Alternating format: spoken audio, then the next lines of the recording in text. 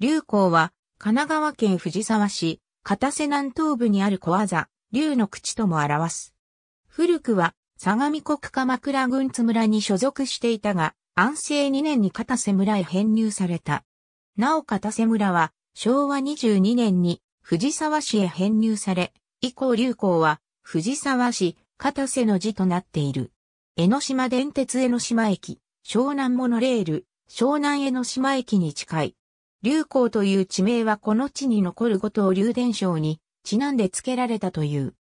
この伝承は、かつて悪事の限りを働いていた五島流が、江ノ島の女神に惚れ、海進し山に姿を変えて、津村、腰越村の守護神となったというものであり、伝承によると、ちょうど、流行のあたりが五島流の東部にあたるため、流行という名前が付けられたという。この五島流の詳細については、江島演技及び五島流伝承に詳しい。流行形状跡流行は、鎌倉時代後期頃より形状として司書に登場する。特に文永8年9月12日に日蓮が処刑寸前に除名される事件は有名。他にも元の死者と聖中や中仙台の乱を起こした北条時行もこの地で処刑された記録が残る。